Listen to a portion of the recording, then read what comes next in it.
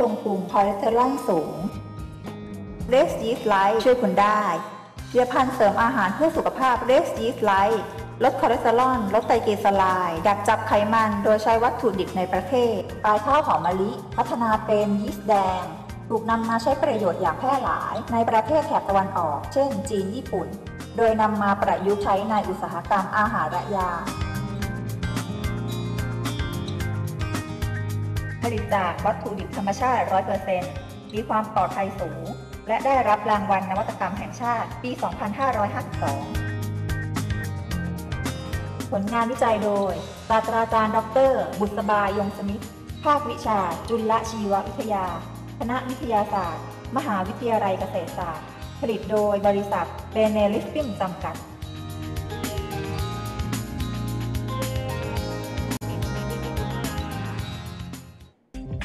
รัตนโกสินทร์ศูนย์รวมพระเครื่องและคณาจารย์ทั่วประเทศ รับจัดหาพระเครื่องและเหรียญคณาจารย์ตามที่คุณต้องการ รับทำพระเครื่องในดีไซน์ของงานจิวเวลรี่พระแท้ดี sure ต้องรัตนโกสินทร์รับประกันคุณภาพโดย วิทย์รัตนโกสินทร์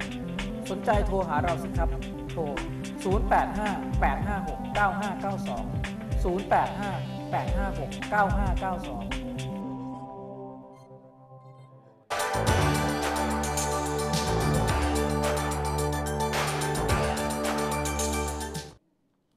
กลับเข้าสู่รายการในชั่วโมงที่ 2 ของจับกระแสพระนะครับอืมเรายังมีวัตถุมงคลดีๆ ให้ท่านผู้ชมได้สะสมกัน 14 รายการด้วยกันแบบไม่ซ้ำเลยนะ สุดยอดแล้วก็ไม่แพงด้วย การันตีเลยอืมว่าของดีจริงๆนะครับไม่รู้กลิ่งไปอย่างนะ ก็ลองดูกลิ่งนะขครัอบงปู่แย้มเนี่ยน่าสนใจไม่ธรรมดานะมากๆไม่ธรรมดาเลยนะครับเป็นของเก่านะครับอาจารย์วิทย์บอกจะแถมพิเศษให้อีกนี่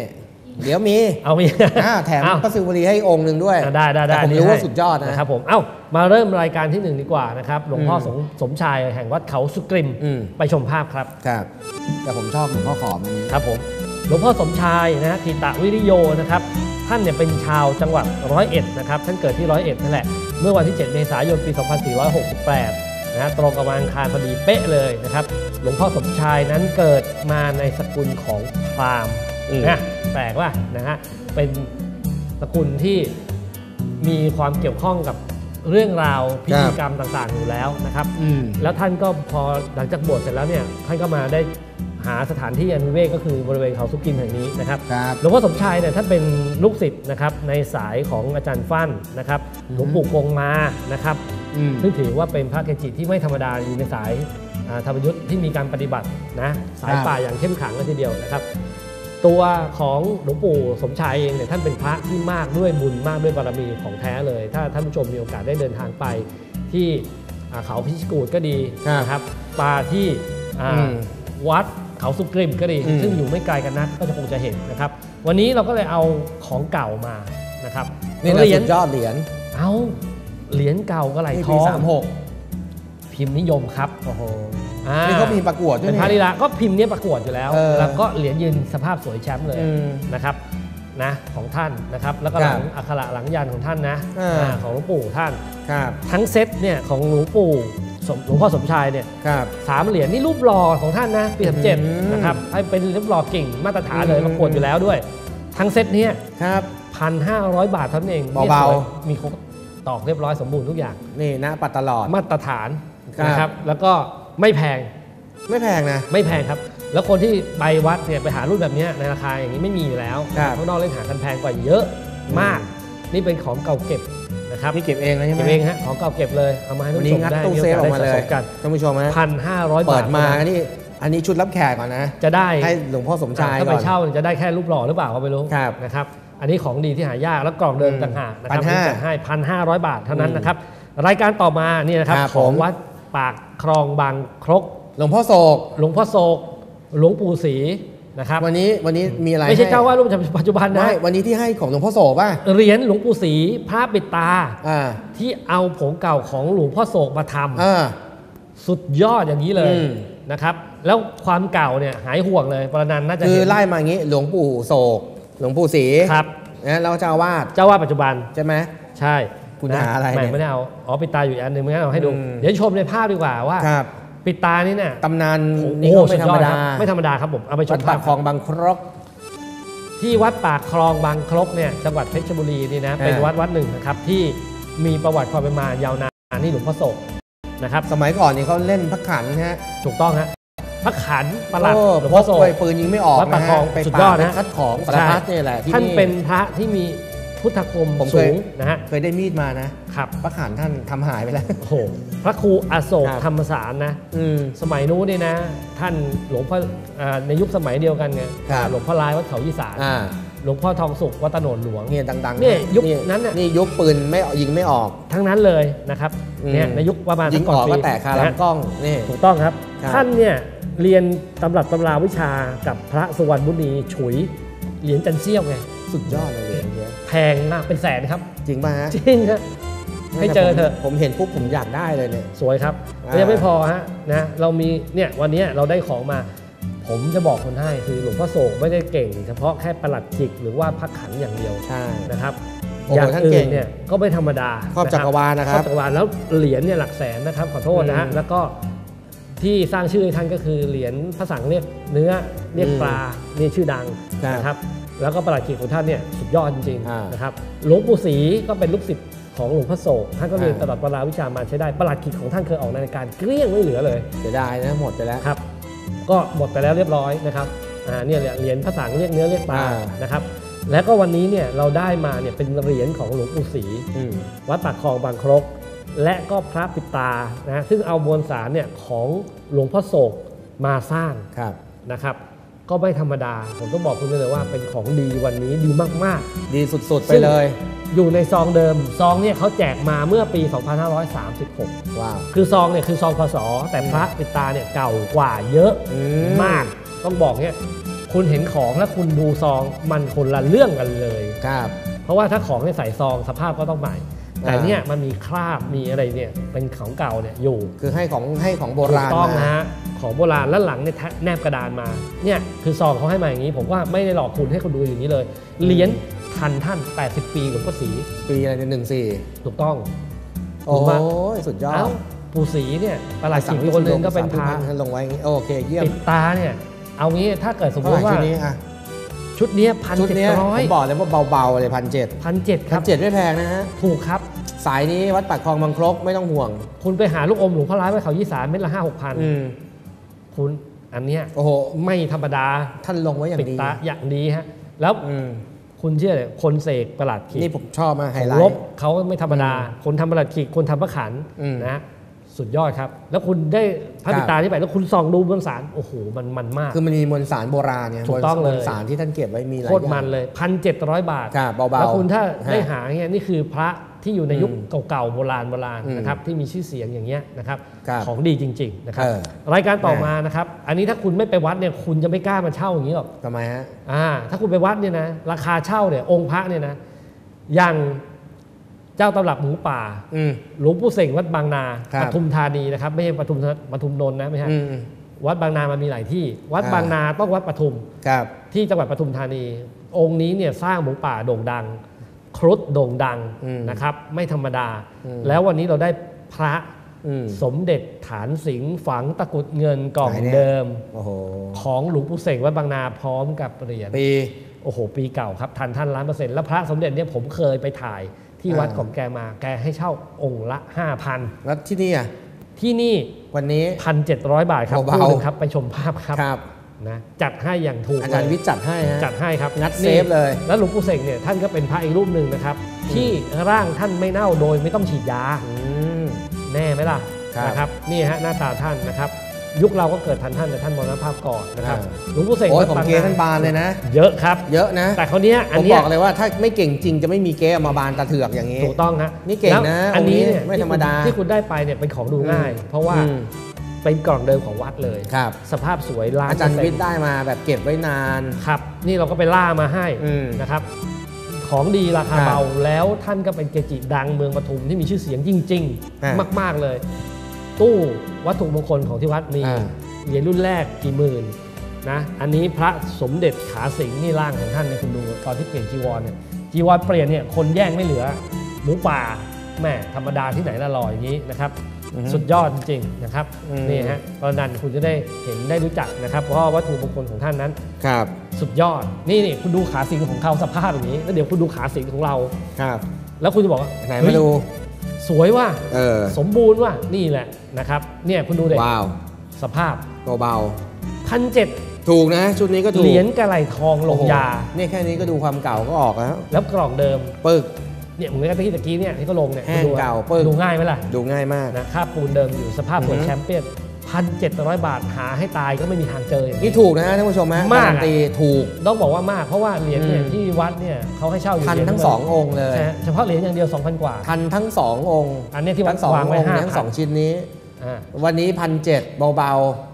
ถูกมาก ๆ นี่อาจารย์วิทย์ให้แบบตกควายนะ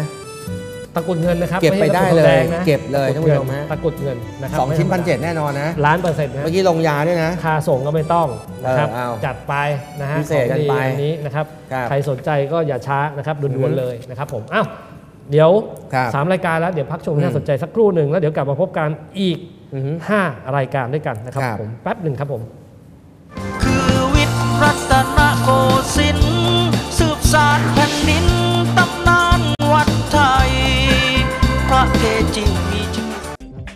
รัตนโกสินทร์ศูนย์รวมพระเครื่องและคณาจารย์ทั่วประเทศ รับจัดหาพระเครื่องและเหรียญคณาจารย์ตามที่คุณต้องการ รับทำพระเครื่องในดีไซน์ของงานจิวเวลรี่ พระแท้ดี sure ต้องรัตนโกสินทร์รับประกันคุณภาพโดย วิทย์รัตนโกสินทร์สนใจโทรหาเราสิครับ โทร 085 856 9592 085 856 9592 อ้วนลงพุงคอเลสเตอรอลสูงเลสยีสไลท์ช่วยคุณได้ผลิตภัณฑ์เสริมอาหารเพื่อสุขภาพเลสยีสไลท์ลดคอเลสเตอรอลลดไตรกลีเซอไรด์ดักจับไขมันโดยใช้วัตถุดิบในประเทศ ปลายข้าวหอมมะลิ พัฒนาเป็นยีสต์แดงถูกนำมาใช้ประโยชน์อย่างแพร่หลาย ในประเทศแถบตะวันออก เช่น จีนญี่ปุ่น โดยนำมาประยุกต์ใช้ในอุตสาหกรรมอาหารและยา ผลิตจากวัตถุดิบธรรมชาติ 100%มีความปลอดภัยสูง และได้รับรางวัลนวัตกรรมแห่งชาติ ปี 2552 ผลงานวิจัยโดย ศาสตราจารย์ ดร บุษบายงสมิทธ์ภาควิชา จุลชีววิทยา คณะวิทยาศาสตร์ มหาวิทยาลัยเกษตรศาสตร์ ผลิตโดยบริษัทเบเนลิสปิ้งจำกัด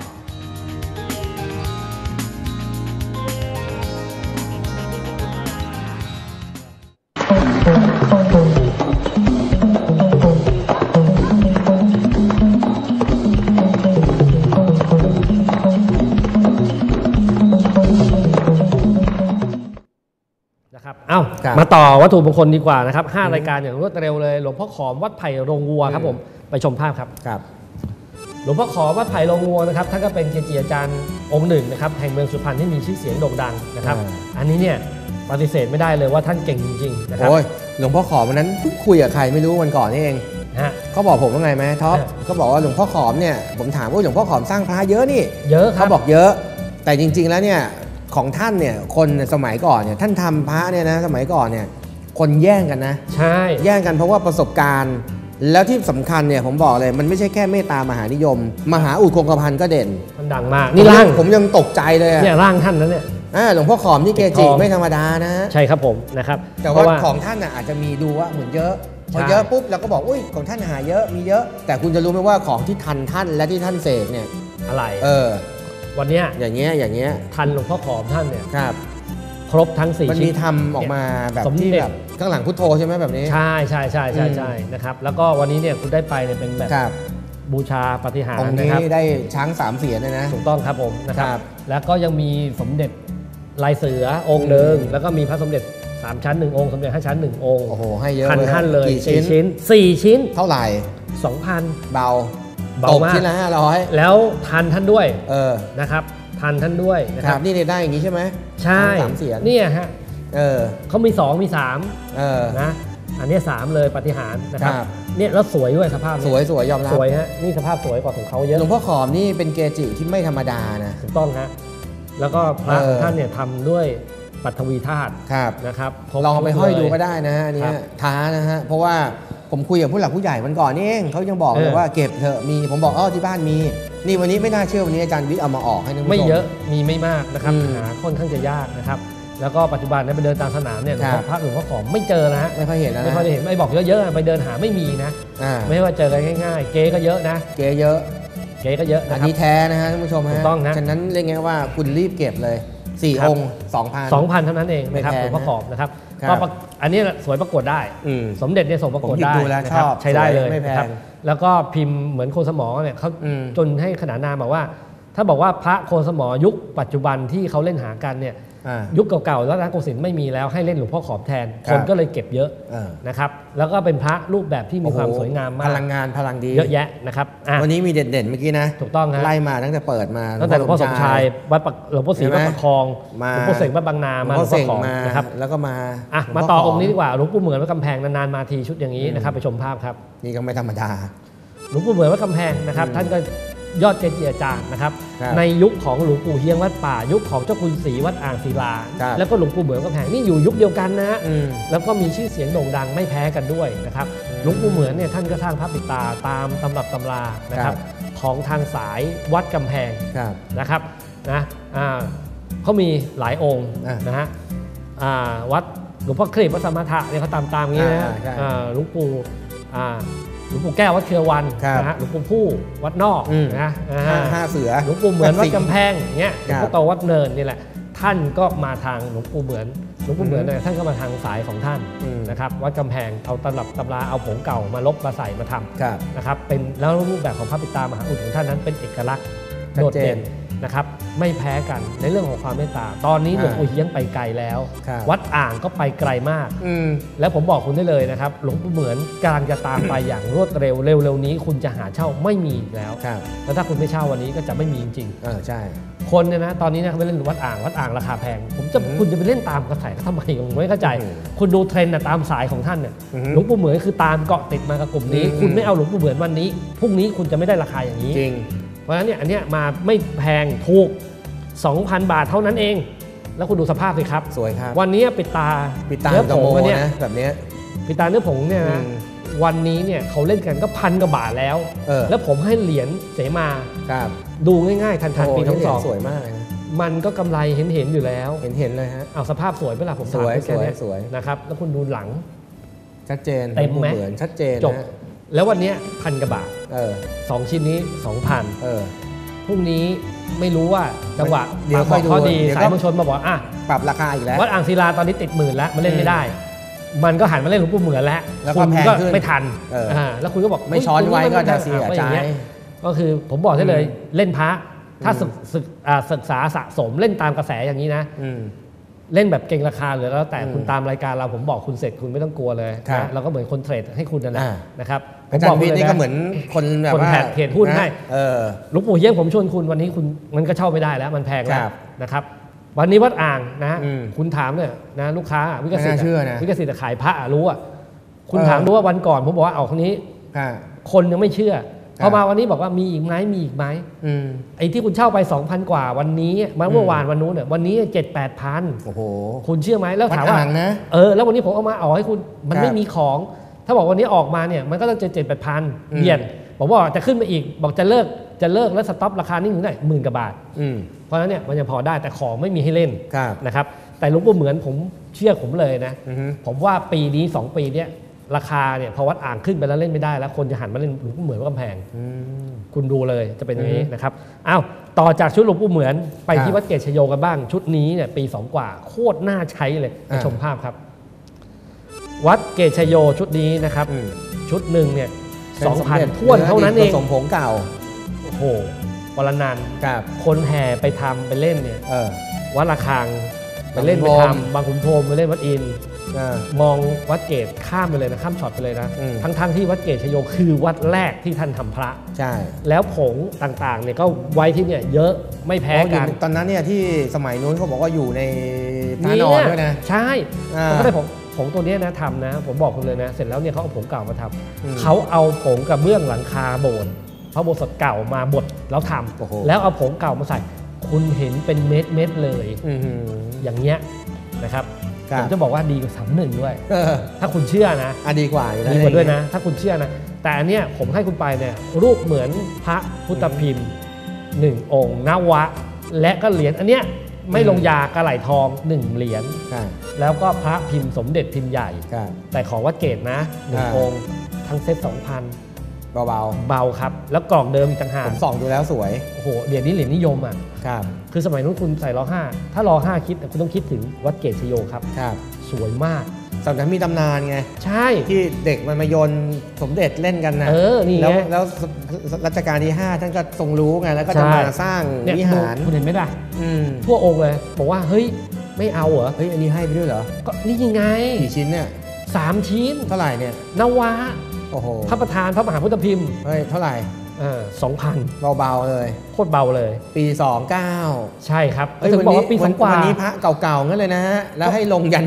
ดูยันดวงดวงไว้ด้วยง่ายครับดูผมง่าย แล้วพระมหาพุทธพิมพ์ขอได้ทุกเรื่องครับนะครับ ไม่ธรรมไอ้ยดาชุดนี้ก็ไม่ธรรมดาสองพันไม่แพงถูกคันนี้ผมว่าคุณไปมองเนี่ยตรงนู้นตรงนี้คือออืมถ้าคุณเล่นเอาพุทธคุณเชื่อผมอันเนี้ยเวิร์กครับมากนะครับเอาไปขึ้นไม่ต้องใส่คอได้ของแพงๆอะไรแรงแรงเออมากๆเดี๋ยวเนี้ยกลายเป็นว่าอืม ของแพงพุทธคุณเยอะ ครับ คุณอย่าคิดอย่างนี้ ไม่เกี่ยวอันนี้เขาสะเอ้ยสม พระแจกมายังพุทธคุณเลยอ้าวนะเออก็บอกสมัยก่อนนะเราเน้นอยู่แจเสกมไม่อกลัว ใช่เออ นะครับเนี่ย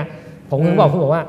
อันเนี้ยถ้าคุณเล่นอย่างเงี้ยคือแนวสะสมแนวสะสมผมก็ชี้ให้คุณเลยเห็นเห็นเลยว่าอืมเนี่ยคุณเช่านี้ไปไม่อันนี้ขาดทุเล่นพุทธคุณเลยฮะคุณเก็บไปเลยพุทธคุณดีราคาเบาเอ้ยชุดของนี้ดีโอเคโอเคนะครับไม่ธรรมดานะครับครับใครอยากได้ก็รีบโทรเข้ามาแล้วกันอือฮึ อ้าวอีกหนึ่งเกจิหลวงปู่บุญวัดบ้านนาไปชมอืมภาพครับมีท่านกระเด่นดังเรื่อง โอ้โหอะไรเรื่องเอ่ยเมตตามหาบารมีโด่งดังมาก แล้วเออพัดโบกเนี่ยก็ท่านดัง ใช่ แล้วผมบอกอ่าอย่างเงี้ยอย่างวันนี้คุณนึกถึงนะก็บอกว่าโสรถสายครับตะวันออกคุณนึกถึงพระอาจารย์บัวใช่ไหมอ่าแต่ถ้าผมบอกว่าโสรถให้คุณนึกถึงหลวงปู่บุญคุณจะเชื่อผมไหมครับอ่าหลวงปู่บุญเนี่อยงค์นี้ไม่ธรรมดา ยันโสรถอืมสายวัดสารนาถก็โสรถอ่าใช่ของเฮ้ยตอนนั้นแท้ท่านไปเสกนี่ก็ใช่ไงใช่ไหมอ่าถ้าไม่แน่จริงเขาไม่ได้นิมนต์ไปเสกวัดนะฮะสารมัยนาถนู้นธรรมารามปี 99 สมัยนู้นหลวงปู่ยังอ้ออยู่เลยอืม ไปสมัยนู้นคือท่านก็ยังไม่ดังในปี99นะอืมแต่ท่านก็เป็นพระที่มีโอกาสได้อยู่ที่สารนาถแล้วครับนะครับ วันนี้เนี่ยผมจัดให้คุณไปเนี่ยเหรียญที่ทันท่านเลยนะสองเหรียญโอ้ไม่พอครับอ่าพระชาอ่าพระยอดธงรุ่นแรก ทันไหมยอดนชมวะองค์หนึ่งทันหมดเลยโอ้โหนะครับก็เหรียญปี20อะเออคุณว่าทันไหมล่ะเนี่ทัยนทันทันยอดธงนะแบบนี้เลยของเราสวยไปเยอะกล่องเดิมด้วยอาจารย์วิทย์ยังเล่นดินอยู่เลย อันเนี้ยสมันู้นนะฮะ ครับอย่าไปเกิดไว้นะปีเฮ้ยปีก้า20เกิดแล้วดิ20เกิดแล้วนะฮะแต่ครับ แต่เลิกเล่นดินแล้วเล่นอย่างอื่นแทนนะฮะอ๋อ เนี่ยฮะเล่นของตัวเองนะปีสองศูนย์นะเริ่มอ้าวมีดินน้ำมันเป็นของตัวเองไงใช่ เออนะครับ เนี่ยเดี๋ยวคุณดูเหรียญนะที่อืม ผมจะให้คุณไปเนี่ยว่าสุดยอดขนาดไหน อ่า หลวงปู่บุญเนี่ยสมัยก่อนเนี่ยครับ ถ้าในยุคปี 22เนี่ยเหรียญของท่านเนี่ยจะให้บอกว่าไง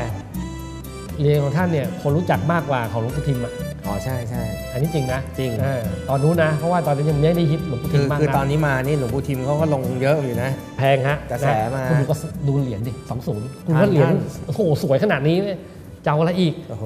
กล่องเดิมครับทันพระยอดธงเออรุ่นแรกไงสภาพนวะ สวยงามข้างล่างชัดตอเจกนมูลเลบุยญสวยกว่าของตะกี้ป่ะล่ะ เออเห็นว่าเออ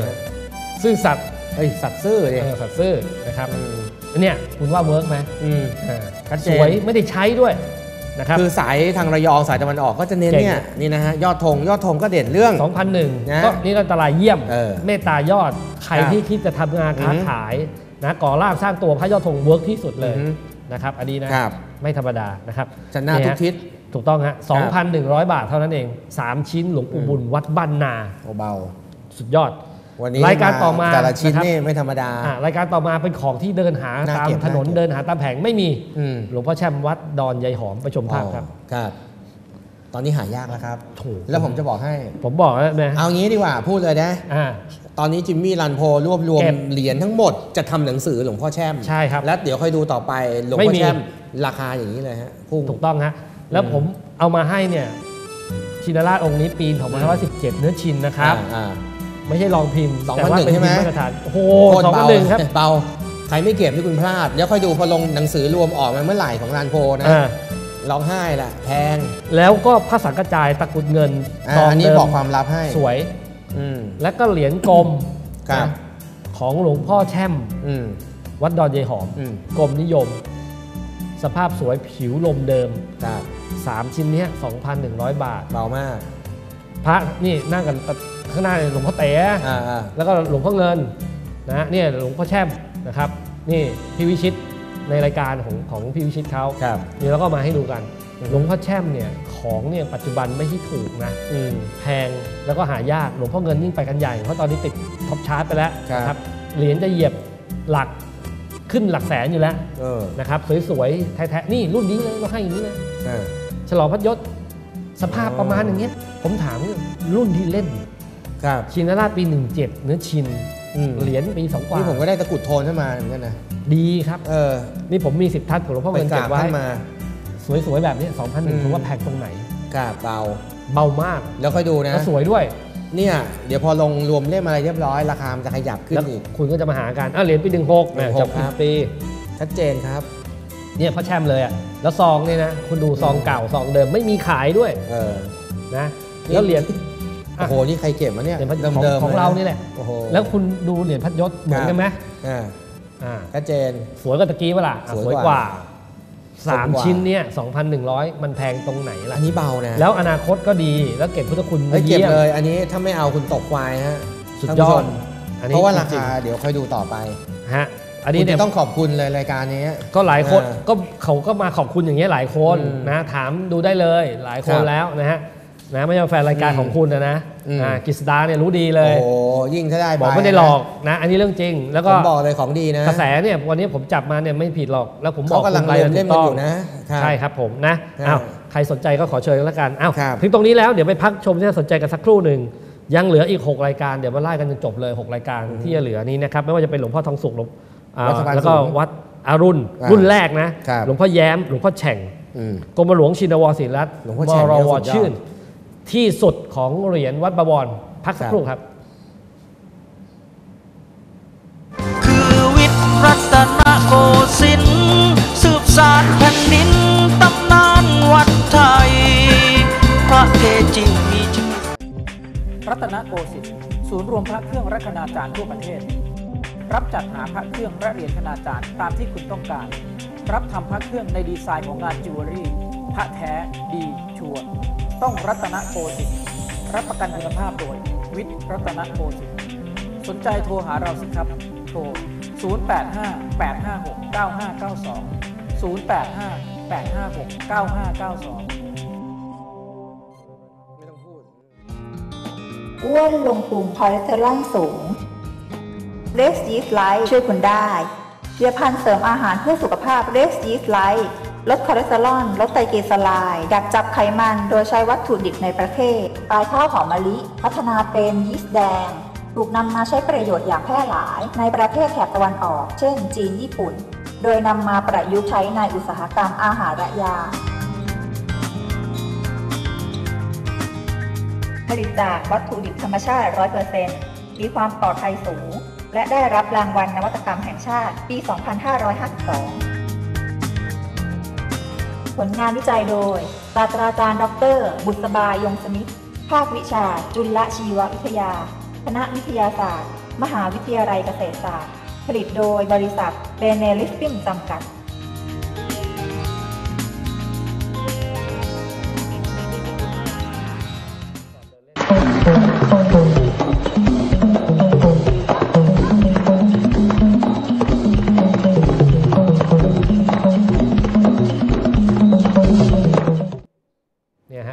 ก็ยังมีอีกหกรายการเอามาต่อกันเลยดีกว่าของไม่สวยทันๆยังมีอยู่นะฮะ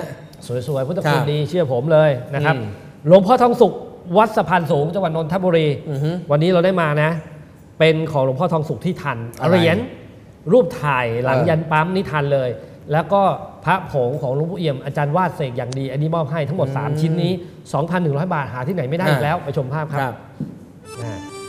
อันนี้นะฮะ ที่วัดสะพานสูงเนี่ยมีเถราจารย์ อืม สืบเนื่องกันมาปฐมนาม ถึงสี่รุ่น อืม สืบเนื่องกันมาคุณฟังนะ สืบเนื่องกันมาอย่างต่อเนื่องถึง4รุ่นที่ดัง อืม ตั้งแต่หลวงปู่เอี่ยมหลวงปู่กินหลวงพ่อทองสุขแล้วก็มาปัจจุบันหลวงปู่วาดอืม นะครับ ครับ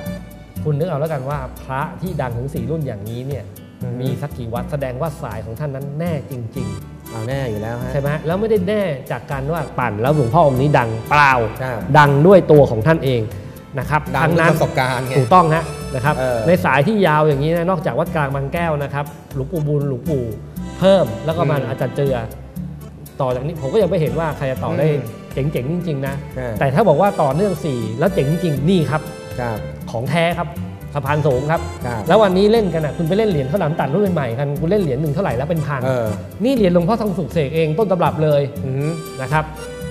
สามชิ้นเนี่ยอืมนะครับ2,100บาทจะไปหาที่ไหนครับ มันไม่มีแน่นอนเราก็จัดให้เป็นอย่างดีนี่ตะกรุดของท่านหลวงพ่อทองสุข ครับ ผมเนี่ยเก็บไว้ดอกหนึงเออ นะครับ แล้วก็มีของอาอาจารย์แปลกอีกดอกหนึ่งเก็บไว้อืมนะครับก็เก็บอันนี้ไม่ใช้ไม่ใช้เอาไม่ได้ไปออกอืมให้ใครนะครับก็เอาไว้ใช้นะครับก็ถือว่าเป็นของดีที่น่าครับ ใช้นะครับนี่ฮะนี่อาจารย์ว่าดเสกชัดเจนนะชัดเจนครับ ของดีจริงๆนะครับแขนขออาดูจารย์ง่ายขอโทษนะฮะตอนนี้อาจารย์ว่าดเสกอะไรก็แพงนะครับครับนี่ดีนะผมเก็บผ้าปิดตาเออหกเหลี่ยมพิมพ์พิเศษไว้โอ้โหนะสมัยก่อนลุงโย่งครับทำให้ผมสององค์ครับเพราะผมเนี่ยไปนวดอาจารย์วาดอ๋อแล้วลุงโย่งก็กดให้ แล้วลุงโย่งบอกว่า เฮ้ยวิทย์ทำบุญเออองค์ละพันหนึ่งไม่งั้นมึงไม่ได้ไปหรอกอ่าทำก็ทำเลยครับลุงโย่งไม่เห็นต้องอย่างนี้เลยเออทำ แล้วผมก็ได้มาสององค์เออ เก็บไว้เป็นผงล้วนของของอาจารย์วาดเออ นี่วันนี้มีคนมาให้ผมเนี่ยองค์หนึ่งเนี่ยห้าพันผมไม่ออกนะฮะครับตะกรุดผมมีตะกรุดทองคำหนักหห้านึ่พันงห้าบาทออกไหมฮะ ไม่ออก ให้ครับมีตะกรุดทองคำวันนี้อืมมาตะกรุดทองคำเนี่ยอืมคนที่ครองครอบครองไปนะป่ายับอืมทำไว้ดอกหนึ่ง ครับ นะอ่าพี่โอกันตนาดอกหนึ่งอย่างเงี้ยครับผมเนี่ยมีดอกหนึ่งอืมนะครับ จานลายมือหน้าหลังอาจารย์ว่าอาจารย์ว่าบอกนี่ 80%เพราะว่าถ้าเรียนมากับอาจารย์แปลกได้แค่อ่า80 ไม่เต็มร้อยครับอาจารย์เขาเก็บไว้ 10%ครับอ่า20%ทั้งก็ได้มาเท่านี้ก็ถ่ายทอดเต็มที่ก็ใส่ไปอ่ายาไปถักเชือก แต่ผมว่ายาถักเชือกมากอย่างแบบโบราณ แต่หลวงพ่อบอกไม่ต้องถักอย่างเงี้ยมึงใส่อย่างเงี้ยแล้วใส่ยังไงอะไม่ต้องก็ถามคือเปลือยๆไงดอกเออเปลือยๆไงใช่เพราะว่ามันก็จะไม่เอกลักษณ์ของวัดสะพานสูงเนี่ยบอกเออมึงใส่เปลือยๆผมก็ไปเรียกเปลืก็ใส่อยๆใส่ใส่หลอดอย่างเงี้ยเหรอใช่เออท่านบอกว่าไม่ต้องไม่ต้องถักอืม ทองคำจะไปถักทำไมวะเขาก็เดี๋ยวเขาก็ไม่รู้หรอกอืมว่าเออก็จริงเข้าใจ แต่คุณเข้าใจความคิดผมไหมคือถ้าถักอะเจ็ดเสาห้าเสาเนี่ยมันดูคลาสสิกแล้วลงรัก ไม่แต่พอถากปุ๊บเอาเชือกร้อยปุ๊บอ่า มัมันก็สิเชือกไปเสียดสีกับทองคอ่าำแต่ว่าบางคนมันไม่ได้เขาจะเอาเป็นไงใช้หลอดหลอดเนี่ยใส่เข้าไปแล้วเอาเชือกร้อยครับเข้าไปในหลอดแต่มันนี่มีความเป็นแต่อย่างผมพกเนี่ยผมพกงี้เห็นไหมอ่าก็จะใส่เนี่ยแบบขออาจารหลย์อดวาดนะเอออ้าวอะไรอย่างงี้นะใครสนใจชุดนี้ครับเป็นหลวงพ่อทองสุขอืมเจเนเรชั่นอื3ม G G 3 ของสุดยอดสะพานนะสูงสุดยอดครับ 2,001 หาที่ไหนก็ไม่ได้นะคครัรับบ รายการต่อมานะครับถัดรายการแล้วนะอืมหลวงพ่อโสธรโอ้โหอันนี้กรมศุลสร้างเมื่อเขาอายุครบ 120 ปีอ่าสร้างด้วยเนื้อเงินต่อโค้ดอยู่ในกล่องหนังอย่างเดิมทุกอย่าง อืม ไปพร้อมกับแหวนหลวงพ่อโสธรประมาณปีอหือ20 เนื้อเงินลงยา เก่า เซตนี้ทั้งเซตอืม ผมท้าให้หาราคาถูกกับผม เท่าไหร่ 2,100 บาท โคตรถูกเลยไปเนื้อเงินหามาเลย ฮะ ไปชมภาพดีกว่า เนื้อเงิน เนื้อผมถึงท้าไงบอกเอ้าดิครับ วันนี้ผมจัดให้ถูกจริง ๆ คุณวันหานี้พิตายเศษนะฮะไม่มีทางเจอหรอกนะเนี่ยครับ อ่าอืม กล่องเดิมนะกระดาษเออ ที่ผมบอกนะ กล่องเดิมหมายถึงกล่องหนังของกรมศุลเดิมนะเออ เขาใช้กล่องหนังสีเขียวใช่ใช่กล่องนะเดิม แล้วก็ของเขาแล้วพระชุดเนี้ยเขาเอกลักษณ์เขามีนะเขาหล่อปิดก้นนะแล้วก็มีเลขต่อก้นนะครับ สวยงามทุกอย่างเลย แล้วก็แหวนเงินลงยา นะอืมแหวนเงินลงยาเก่าครับอีกหนึ่งวงเออประมาณเนี่ยสร้างประมาณปี 20อือฮึทำไมรู้ว่าปี 20 เพราะว่าผมไปเช่ามาไงอืมสมัยนู้น ชุดนี้ครับ ผมก็ให้คุณในราคาที่ชาวบ้านเขาไม่ออกไม่ให้ขายนี่มันเนื้อเงินเลยนะ ก็ผมบอกว่าเนื้อเงิน แล้วเนื้อเงินวันนี้ถ้าเป็นหลวงพ่อโสธรวันนี้มีให้เช่าราคา 2,000 มีให้ไหมไม่มีหรอกไม่มี คุณต้องมี 2,000 กว่าอัพอืมล้านเปอร์เซ็นต์ รุ่นใหม่กำลังจะออกมาสตาร์ท2,000 กว่า อืม คุณจะหาที่ไหน สมัยก่อนผมเล่น 09เนี่ยเหรียญเออเออใช่ 3,000 วันนี้เหรียญละหมื่นแล้วฮะครับ นะเนี่ยรุ่นนี้เลย อันนี้เนี่ยอยู่ในกล่องเดิมไม่ได้ยุ่งอะไร ผิวเออ เขาก็เดิมของเขา ไม่ได้ใช้เลย นะครับ เราอ้าวคุณดูเนี่ยผิวก็เดิมๆของเขาเราไม่ได้ไปอืม ยุ่งอะไรนะสวยงามอย่างนี้นะครับ ดูก็ปกติดูง่ายนะครับ ไม่มีอะไรแอบแฝงเลยนะครับ แล้วเก๊ไม่มีกรมศุลกากร เพราะว่าถ้าใครเก๊มาอะไรเงี้ยเขามีสิทธิ์แจ้งจับได้นะกรมศุลเนี่ยเอาเรื่องนะครับ ไปหลอตันฮะอืมคุณยังงงหลอตันหลอตันของกรมศุลเนี่ยแหวนลงยาเก่าปีสองของกว่าอืมนะครับโอแหวนนี่คลาสสิกว่ะปีศูนย์กว่าไม่มีแล้วนะ ปีศูนย์ครับกว่าไปหุ้มทองนั่นเลยนี่ผมเหลือปีศูนย์กว่าสองวงเก็บไว้เออนะครับนี่แหวนหลวงพ่อโสธรลงยาประมาณปี 20 แถวๆนี้ครับนี่ฮะหลวงพ่อโสธรคุณว่าสวยไหมล่ะเออถ้าใครสวยโอ้โหรีบเลยอย่าช้า วันนี้ผมให้พิเศษมีชุดเดียวฮะไม่ได้ว่ามีเยอะ แต่ละรายการมีเพียงแค่ชุดเดียว เท่านั้นเลขตามนี้ฮะอ่าตรงตัวใครได้ไปก็ซื้อหวยนะก้าวหน้าห้าหลังอะนะให้ไปอย่างเงี้ยอย่างเงี้ยเออเซตเนี้ยครับสองพันหนึ่งครับเบาจะมีแหวนก็เงินใช่ไหมด้แหวนเงินเหมือนกันๆแหวนเงินเหมือนกันนะฮะโถแหวนวงหนึ่งอะผมไปเดินตลาดข้างหลวงพ่อโสธรอะผมไปถามมาแล้ววงหนึ่งอะประมาณพันกว่าบาทพันห้า ชุดนี้ทั้งเซตเลย 2 0 0 1 เบาโคตรเบาเลยๆถึงท้าไงเออว่าที่ไหนถูกกว่ามีไหมเขาว่ากันมานะอ่าอันนี้เราไม่คมีรับอยู่แล้วนะครับผมนี่จัดให้แล้วกล่องอยู่นี่อือฮึนี่กล่องเนี่ยเดิมให้ดูเลยกล่องเขาๆครับนี่ของกรมศุลกากรใช่ป่ะอ่าชัดเจนเอออะนะอันเนี้ย2,001 จัดให้ ใครสนใจวันด่นี้วนอาเลจารย์วิทย์ยนะคนัรับดเซฟให้ เอารายการต่อมาครับของดีอืมที่ผมบอกว่าดีจริงๆ คุณเชื่อมาไหมถ้าคุณไม่เชื่อผมเนี่ยคุณไปดูผู้หลักผู้ใหญ่ ที่วัดนี้ได้เลยหลวนะงพ่ออะไรฮะและผมท้าเลยว่าของผมเนี่ยสวยอืมเพราะว่าผมเป็นกล่องเดิมที่เก็บเก่ามาตั้งแต่สมัยเด็กครับๆวัดอรุณรุ่นแรกครับ โอ้โห สภาพสวยมากเอาหน้ากล่องมาดิท่านผู้ชม หน้ากล่องเออเห็นแล้วอะสวยมาก ถ้าอยากรู้ว่าดียังไง คุณต้องไป search ดูนะครับ เขียนอืมคำว่าอ่าวิทย์วัดอรุณนี่ฮะคือผู้ใหญ่ที่นี่อือฮึที่เคารพนับถือพระเจ้าตากสินของแท้ไปชมภาพครับจุดนี้อืมนะอ่าไม่ธรรมดาจริง อันเนี้ยคือเหรียญรุ่นแรกของวัดรุ่นที่มีการจัดสร้างคือคือเหรียญพระเจ้าตากสินวัดอรุณเฮ้ยอันนี้นานมากเลยนะโคตรนานจนนานซีดเลยเลยอันเนี่ยนานมากอะเนี่ยใช่ แล้วเขาเก่าเลยนะแล้วขอโทษนะปรนันท์นะทั้งเซตนี่คือเซตเก่าของเขาคืออมแล้วคุณดูสภาพกล่องว่าผมเก็บดีขนาดไหน ไม่ได้ใช้ไม่ได้ทำอะไรไม่ได้ใช้ เพราะว่าเจอต้องเก็บไว้อย่างนี้ แล้วมันไม่มีสภาพแบบนี้อีกแล้วอืมแม้คุณไปวัดอรุณก็ไม่เจออย่างนี้อีกแล้ว เพราะว่าวันนี้มีรุ่นใหม่ออกมา แล้วแพงด้วยอืมคนที่เคารพนะอืมพระเจ้าตากสิน วัดอรุณเนี่ยคือวัดที่มีความเกี่ยวพันกับท่านเพราะว่าท่านเดินทางมาแล้วก็มาพำนักที่วัดอรุณแห่งนี้ครับ ราชวังเดิมของท่านก็คืออยู่ในกรมอู่ทหารเรือติดกับวัดอรุณนี่แหละอืม นะครับ แล้วก็มีศาลพระเจ้าตากสินอยู่ตรงนี้ แล้วก็อือฮึมีศาลที่ราชวังเดิมอีกที่หนึ่งตรงนั้น อืมบริเวณแห่งนี้คือบริเวณที่มีความเกี่ยวพันกับพระองค์ท่าน ครับ ถึงจนถึงเขตตรงวัดอ่าโมลีโลกยารามตรงนั้นซึ่งมีฉางเกลืออยู่ตรง บริเวณใกล้ๆตรงนู้นสมัยที่ท่านมากู้แผ่นดินตรงนี้นะครับครับ แล้วก็ตั้งเป็นเมืองขึ้นมาเนี่ยพี่วิทย์พี่วิทย์อารุณผมไปถามท่านเลยว่า อ่า เหรียญรุ่นนี้เป็นไง แล้วคุณจะเข้าใจครับ บอกว่า ไอ้ที่ทำให้เขามีทุกวันนี้ได้คือพระเจ้าตากสิน ครับ แล้วรูปเนี่ยเดียวกันเลยอย่างนี้อ่า ทุกอย่างเซตนี้นะครับมีเซตเดียว 2,300 บาทหาให้ตายก็ไม่เจอตอนนี้ออกรุ่นใหม่อ่าคุณดูสภาพของเขาของเราคุณว่าใครสวย ไม่อันนี้มันของโบราณไงไม่เหมือนกันแต่ของเขาเนี่ยสภาพของเราสวยกว่า ของเราสวยกว่า สวยกว่าเยอะเพราะเราไม่ได้ใช้ไม่ได้โดนอะไรเลย เก็บดี เก็บมาอย่างดีเหรียญรุ่นนี้เหรียญเท่าไหร่ มอันนี้ก่อนอืมอะโอ้โห เชื่อไหมล่ะอ่าเพราะฉะนั้นเนี่ยอย่าช้ามีชุดเดียวครับ ครับ 2,300 บาท เบาๆอันนี้แล้วก็พี่วิทย์เนี่ยเขาเป็นผู้ใหญ่ที่คนแล้วให้รูปหล่ออีกองค์หนึ่งครับ เออเอาแต่รูปหล่อนี้ผมไม่รู้ใครสร้าง ครับแต่ผมไม่อยู่ผมก็เลยให้คุณไปเป็นรูปหล่อโลหะเนื้อชนวนก้นต่อโค้ดครับ เออ ไม่รู้ที่ไหนสวยแต่นะ นี้คือพระเจ้าตากสินก็เลยให้รวมเป็นพระก็เจ้าเลยตากให้สิไปนด้วยเนี่ยมีโค้ดต่อเนี้ยลาง ขอเพ่งโคนรูปพิจารดอกบัว ณาสักนิดนึงๆนะฮะเบาๆกระนันเดี๋ยวหล่นอืนะมโอ้โหเออปิดก็แน่นเนี่ยนะเนี่ยฮะให้ไปอย่างนี้นะครับ ของดี ผมว่าโอเคนะ คือจะทำเทียมเรียนแบบแล้วจะทำไปทำไมอะอย่างขนาดเนี้ยนะ สวยนะ มันเป็นโค้ดต่อของเนี้ยบางๆ แล้วก็ดูเอ้ยโอเคโค้ดนะตัวอะไม่ใช่เหรอสองพันสามร้อยบาทมีชุดเดียวครับครับรุ่นนี้หาให้ตายมันก็ไม่มีใครมาขายอย่างนี้แล้วนะครับหายากนะครับ ใครสนใจก็ขอเชิญแล้วกัน ใครคิดจะก่อร่างสร้างตัวใค รเปิดร้านใหม่เฮ้ยชุดนี้ดีใครนะทำธุรกิจใหม่ๆ บุกเบิก ชุดนี้สุดยอดจริง ๆ แล้วนะครับผมปึกเลยนะปึกครับผมได้พนะระเจ้าตากอ่าขอเชิญเลยแล้วกันอืมอ้าวรายการต่อมาของดีที่ปรนันเชียร์แล้วเกินหลวงพ่อแย้มวัดตะเคียนครัจับงหวัดนนทบุรีไปชมภาพครับอย่าลืมต้องแถมให้เขานะฮะเออเอาชุดนี้เดี๋ยวให้ไปนะครับอืมหลวงพ่อแย้มนะวัดตะเคียน ผมเจอท่านก็เรียกหลวงตาแย้มนะครับสมัยก่อนนะอ่าหลวงตาแย้มเนี่ยเป็นพระอืมที่ค่อนข้างจะดุ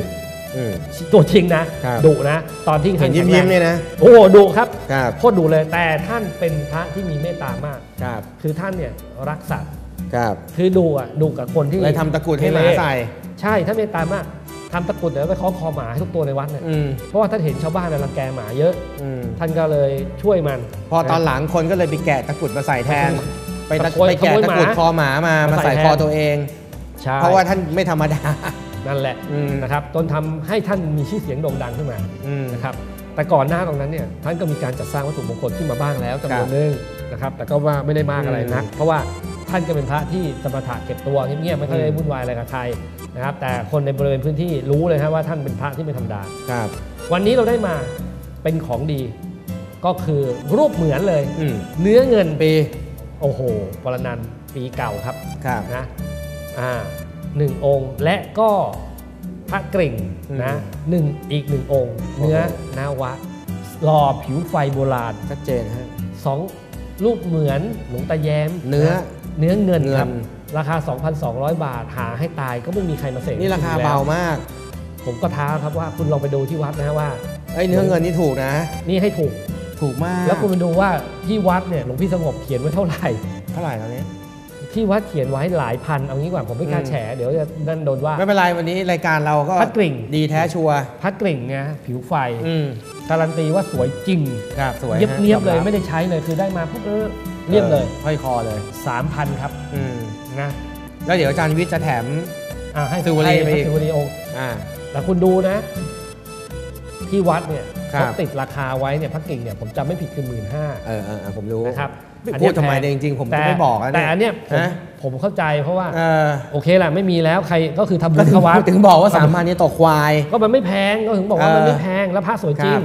เนี่ยผิวเนี่ยอย่างนี้เลยอือหือชนวนเนี่ยโอ้โหยกนิ้วเลยว่า เยี่ยมจริงแล้วกลิ่นเนี่ยหลวงหลวงปู่ ท่านไม่ค่อยทำหรอกผมบอกน้อยให้น้อยๆท่านมีอยู่ 2 รุ่นสามรุ่นเท่านั้นแหละ คือเพราะว่าอะไรไหมเพราะเขาเอาจำนวนพวกจานเนี่พวยกตะตัวกแรรุดกตะกัวอะไรพวกเนี้ยใช่นะ ทั้งหลอมทั้งนวะทั้งเนื้อเออ มารวมใส่เข้าไป นี่แหละนี่แหละ ก็เลยไม่ธรรมดา ใช่ครับผมเนี่ยจัดให้อย่างนี้เลยอืม นะครับ ใครสนใจแล้วก็ จานด้วยเนี่ยมีรอยจานนะฮะถูกต้องชัดเจนฮะ นะฮะข้างล่างเอาซูมเห็นหรือเปล่าไม่รู้ ไม่เห็นนะฮะ เห็นแต่ข้างบนนี่แหละเนี่ยรอยจาพระนสวยนะครับ เห็นมีเนี่รอยจานอยู่รอยจานะคมารับอะอูเออนะเห็นปะเอ้า โอเคเออพอแล้วเอาสนใจก็โทรมากันแล้วกันครับนะครับอย่าช้า อย่าช้าไม่รู้มีอันไหนออกแล้วบ้างก็ไม่รู้นะครับอืมแต่ว่านี่ของดีจริงๆรายการต่อมาหลวงพ่อแฉ่งแห่งวัดบางพังครับอันเนี้ยดีสองชิ้นใช่ไหมถ้าบอกหลวงพ่อแฉ่งท่านจะดังคือหนึ่งพระกิ่งพระชัยสองชิ้นเท่าไหร่ผมถามก่อนสองเลยชิ้นนี้ 3,600 บาทครับเบาแล้วเป็นพระศิวลีหล่อๆอืมข้างหลังเป็นตัวตกนักควายเศรษนะฐีฮะที่คุณกำลังพูดเนี่ยก็ไม่รู้แต่ว่า ก็คือให้ก็ให้ พี่เต่ารู้จักพี่เต่าป่ะพี่เต่าเล่นกันเป็นพี่หมื่เต่านเล่นกันเนี่ย ผมบอกเลยว่าแพงมากเป็นหมื่นแพงมาก อืมไปชมเต่าภาพห้วยครับขวางเนี่ยเต่าเราที่สิบพ่อสุชาติเนี่ยใช่ฮะไปชมภาพอืมครับวัดบางพังวัดศรีรัตนารามนะครับ ครับก็เลยวัดกู้ไปหน่อยตอนแรกถ้าชิ้นเดียวยังพอทนนี่ให้ 2 ชิ้นเลยนะฮะสองชิ้นนะคอรับย่างถูกเลยฮะท่านผู้ชมอ่าฮะพระชุดนี้นะครับ อืม ให้ไปเนี่ยนะถ้าเป็นพระศิวลีองค์นี้เนี่ยอืม น่าจะสร้างประมาณปี 2500 ครับ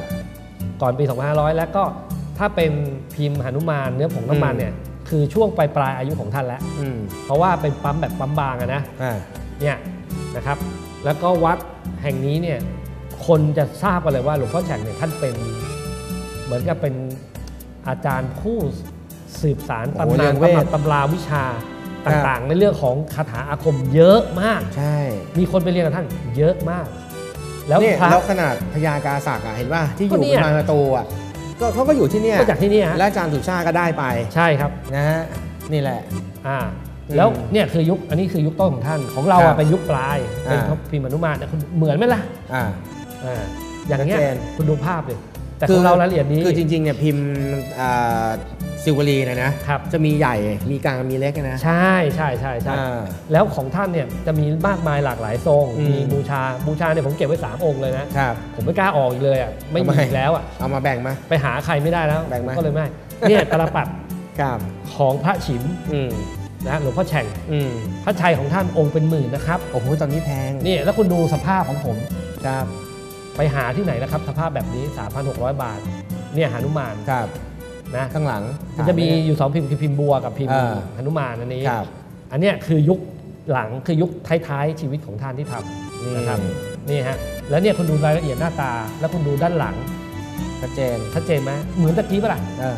ดูง่ายไหมหล่อถ้าหล่อแบบแท้ๆอันเนี้ยดูง่ายเหมาะกับการเอาไปเลี่ยมห้อยคอ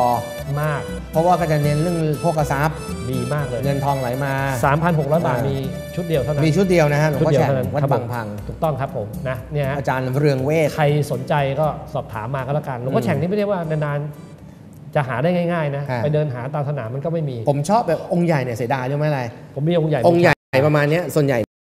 ที่ท่านถืออะมันจะเออหาย ใช่ มันจะส่วนใหญ่จะได้เหลือรูปหล่อมาถูกต้องย่าฮะเดี๋ยวนี้แต่เป็นอย่างงี้แต่ส่วนใหญ่หาย แต่เนี่ยก็ไม่ใช่รูปหล่อนะ ที่คุณว่าเนี่ยคือเป็นปั๊มนะอืมแล้วฐานกลึงก็มาประกบกันอืมให้เป็นอย่างนี้นะ แล้วก็ตลปัดครับจะเชื่อมเงินนะครับเออเนี่ยเป็นอย่างนี้ ส่วนใหญ่เขาจะมันหลุดหายประจำอ้าวรายถ้าคุณถ้าปอเออจำได้รายการเราเคยมาออกสมัยนู้นเออออกองค์หนึ่งสองพันกว่าสามพัตอนนี้เป็นหมื่นแล้วมั้งโอ้โหตอนนี้เป็นหลาย แล้ว ครับ และอันเนี้ยสวยด้วยขนาดห้อยคอเออออ ย่างนี้เลยสุดยอดไม่ธรรมคดา ลาสสิกคลาสสิก ครับอ้าวอีกหนึ่งรายการสุดท้ายของวันนี้นะครับ อือฮึ แล้วก็เป็นรายการผมถือว่าเป็นรายการที่สำคัญ อะไรฮะ ชาตินี้ก็หาจะให้ได้อย่างนี้มันก็ยากอะไรอะไร เหรียญไพรีพินาศ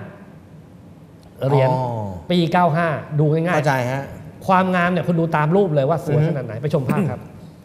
นะครับ อันนี้ไปชมได้เลยอันนี้สวยแชมป์ของไม่ได้ใช้ เสด็จกรมหลวง นะกรมหลวงวชิรยานวงศ์ชื่นอ่านะกรมหลวงนะวชิรยานวงศ์ชื่นครับนะครับนพวงศ์เป็นอาจารย์ของสมเด็จพระยานสังวรอืมสมเด็จพระสังฆราช เป็นพระอุปชฌาย์ของในหลวงของเราครับอ้าวแค่นี้คุณว่าเคลขนาดไหนแล้วครับ ไม่ธรรมดาครับไม่ธรรมดาครับนะแล้วท่านเป็นพระผู้เรืองเวทวิทยาคมตัวจริงในสายวิปัสสนาอืมอืมที่ไม่ต้องแสดงอะไรเลยครับ สุดยอดมากฮะ แล้วท่านผู้นี้แหละครับก็คือผู้ที่สร้างพระไพรีพินาศรุ่นแรกปี 2004 2000 ปี 95อืมแล้วก็ปีแล้วก็พระกิ่งเจ็ดรอบกิ่งปีเจ็ดรอบ99 องค์นี้แหละอืมนะครับ แพงแสนแพง ไม่น่าเชื่อนะสิปีที่แล้วมันมีใครเล่นเลยเจ็ดรอบเออนะตอนนี้ไผมหาซื้อกันหาไม่กสาว้ามงองค์เป็นแสนครับนะไอ้ผ่านมือเรา7-8องค์เออเนี่ยผมเอาภาพมาดูเนี่ยว่าของเขาอะเหมือนกับของเราไหมเออแล้วองค์นี้เป็นองค์ที่ไม่ได้ใช้เลยอ่าฮะ ไม่ได้ใช้เลยครับเนี่ยเหรียญของท่านเนี่ยผมมีเก็บไว้นะรุ่นแรกอืมพระชัยผมกับเพื่อนผมเอานี่ก็หลายแสนแล้วไปโอ้โหนะไม่สวยก็แพงนี่ผมก็อืมมีนี่ปี95ก็ใช่ก็คือพระชัยวัดประวรรุ่นแรกนะครับอ๋อมีผมมีอยู่นะเจ็ดรอบใช่ก็บลมีอยู่นะเพราะว่าพระชัยเนี่ยเยอะอยู่นะ แต่ก็อืมไอ้ของปัจจุบันไม่ไม่มีแล้วนะหายาก รุ่นในควงครับ นะหายากอ่า นะครับนี่ฮะคุณดูสภาพสวยแล้วคุณดูราคาสิครับ ไม่ได้ใช้ ก็บอกว่าหิ้งเลเฮ้ยยนะ ผมท้ากันราคากันเลยนะครับ หกพันครับ นี่ครับพระหิ้งเช่าในบ้าน แล้วคุณดูตัวอย่างเงี้ยโอ้โหคมกิฟต์กิฟนะครับเป้ากริปห้ากริปกริปคุณดูลายฮะอือฮึเส้นขนแมวอะอ่าเนี่ยผมให้คุณดูว่าตัวแท้จะต้องโค้งนะฮะอืมอย่างนี้นะฮะไม่ได้โค้งมากนะเขาเรียกว่าพระไพรีวัฒนาพิมพ์หลังเตาครับพิมพ์กับเบื้องบนมีกับเบื้องเหรียญโค้งเดียว มีเหรียญเดียวเท่านั้นต้องแย่งกันหน่อยแล้วฮะ6,000ก็ครับหมดแล้วหมดเลยไปแล้วก็ไปเลยอืม จะหาอีกตอนนี้ผมจะมาหาใหม่ต่อจากเหรียญนี้อีกไม่มีเลยยากครับมาคกรับเพราะว่าราคาเช่าหาเขาเอาแพงกว่านี้เยอะหายากอยู่นะครับผมจะบอกปรนันเลยบอกปรนันถ้าเจเห็นอที่ไหนเยราเก็คาบถูกนี่อ่าคือเจอซื้อเลยนะอือฮึสภาพอะไม่ต้องห่วงมีคนเอาอืมและเนี่ยของดีจริงครับๆนี่แหละครับก็คือวัตถุมงคลในวันนี้ 14 รายการด้วยสุกันดยอดทั้งนั้นเลย ยอดครับผมนะอืไม่ธรรมดาเฮ้ยหมุนเอสก่อนไหม SMS เอาหมุนเลยนะครับแล้วเล่นเกมไหมไรู้ว่าาเนี่ยข้างเอาหมุนไปเลยอืมเหลือเพียงแค่2นาทีเองอ้าวเฮ้ยเอาล่วงกระเด็นล่วงมาล่วงล่วงอ้าวหล่น ไปเอาแหมเก่งมากเลยงับงับตัวเองนะไปไหนแล้เอาวหเนี่มุยนใหม่ไหมหมุนใหม่เถอะเอาหมุนใหม่ฮะไม่ลำบากนะอะ เออลำบากหา นะไม่ทันมามาแล้แล้ววหมายเลขครับหมายเลขที่ออกครับสิบหก16 โสรถพอดีเลย ไม่น่าอืมเชื่อวันนี้คุยเรื่องโสรถเยอะแยะนะสิบหกนะ 16 โสรถนะครับ จบตรงนี้เลยเรียบร้อยอ้าวนะครับ เหลือในช่วงครับท้ายรายการอันนี้นะฮะก็ต้องขอเชิญชวนอือฮึท่านผู้ชมนะครับ ผมมีงานบุญ 3 รายการ ครับ ถ้าไม่ถือว่าเป็นการรบกวนนะครับอืมแต่ว่าอยากจะชวนเชิญชวนให้ร่วมบุญจริง ๆ ด้วยความตั้งอกตั้งใจผมทำไปแล้วนะ ในวันที่ครับเอาเขาทำนี่ปรนันท์ทำแล้วจริงๆนี่ทำจริงฮะประกาศเกียรติเกิดกล้องเลยนะปรนันทธรรมกรบัญญัตินะฮะแล้วก็ครับครอบครัวพร้อมครอบครัวของเขาครับได้ร่วมบุญในการซื้อทองคำปรีพระธาตุ500 บาทออกสื่ออืมนะฮะนี่ฮะครับท่านแรกเลยนะครับผมนะขอบคุณผมทำมากคนแรกเลย คนแรกเลยนะฮะเดี๋ยวต้องเอาคพรัระบศิวลีไปด้วยครับแล้วก็ งานบุญของเรานะครับเริ่มแต่วันที่อืม6มีนานะครับส่วนนุพเคราะห์นะครับที่วัดสัมพันธวงศ์เวลา 18นาฬิกาเป็นต้นไปถึงเวลา 19นาฬิกา1ชั่วโมง จัดพิธีนพเคราะห์แบบไม่เยินเยอะครบถ้วนครับสมบูรณ์ทุกอย่างเลยนะครับไม่เสียเวลาแน่นอนอืมนะครับไม่ต้องไปนั่งเมื่อยนะมีอายุแค่ไหนนั่งแป๊บเดียวเองก็เรียกหนึ่งชั่วโมงก็ครบถ้วนสมบูรณ์ไปด้วยใจไปด้วยศรัทธานะครับจะสำเร็จวันที่ 12นะครับมีนาคมนะครับที่อุทยานมหาราชหลวงปู่ทวดองค์ใหญ่กมที่อำเภอบาง44ปะหันนะครับไปร่วมหล่อพระกันตั้งแต่ในเวลา ไปถึงพร้อมพิธีกันตั้งแต่เวลา 14นาฬิกานะเป็นต้นไปนะครับวันนั้นเนี่ยอุ๊กอุ๊กอุ๊กก็อยู่นะอะมาด้วยนะครับแล้วก็มีคณาจารย์อีกมากมายหลวงปู่แขกเซียนออมาแล้วมาแล้วแล้วก็อะหลวงปู่แขกก็มาด้วยนะครับอือฮึโดยสมเด็จพระวรรณรัตน์นะมาเป็นองค์ประธานในพิธีเทครัศบหล่อนะครับนะแล้วก็มีพระเกจิอื่นอีกมากมายทีเดียวนะครับอืมนะแล้วก็รอรูปเหมือนคุณแม่บุญเรือนด้วยวันนี้ผมโพสต์ไปอืมเรียบร้อยแล้วก็เชิญชวนไปโอเพนใครจะไปก็ก็ขอสุเรีกยนเชิมีญงานมาที่ครับ6มีนาวัดสมณวงศ์ 12มีนา 12 มีนาที่กม44หลวงใช่ปู่ครับทวดองค์ใหญ่แล้วก็วันที่ข้างใน 20 มีนานะครับอืม20 มีนาที่วัดพระธาตุดอยเลงเนี่ยพิธีหครั่มบผ้าพระธาตุนะครับ แล้วก็ในวันที่ 1 พฤษภาคมเนี่ยจะเป็นวันยกปรีพระธาตุขึ้นไป เพราะฉะนั้นดัเนี่ยงนั้นในช่วงทำบุญต้องหมดเขตเมื่อไหร่เนี่ย ก็ต้องก่อน 1 พฤษภาเพราะฉะนั้นเนี่ยต้องรีบนะผมจะมีเป็นซองพระป่าไปให้ ถ้าใครสนใจอืม ก็ขอเชิญแล้วกัน เป็นสายบุญของเรานะครับ แล้วก็ทำร่วมเนี่ยทำบุญครบซื้อถ้วนทองสมบูรณ์คำไปสร้างปหุ้รีมปรีพระธาตุหุ้มปรีพระธาตุครับพระธาตุดอยเลงอะนี่แหละครับก็คือเรื่องครัราบวของเราในวันนี้แล้วก็เชิญชวนท่านผู้ชมนะอ้าววันนี้เวลาหมดหมดเวลานะครับ หมายเลขครับ SMS ของเราออกไปแล้ว 16 นะครับอืมใครได้แหมก็ไม่ได้เล่นเกมอะสิครับเล่นไหมไม่เป็นเนี่ยไรนะวันนี้ผมวิทย์รัตนโกสินทร์ครับผมท็อปสุดยอดครับเราทั้งสองคนต้องลาท่านผู้ชมทุกท่านไปก่อนขอให้ทุกท่านโชคดีมีสั่งใช้เฮงๆรวยๆกันทุกคนครับ วันนี้สวัสดีครับ สวัสดีครับ คือวิทย์รัตนโกสินทร์สืบสานแผ่นดินตำนานวัดไทย พระเกจิ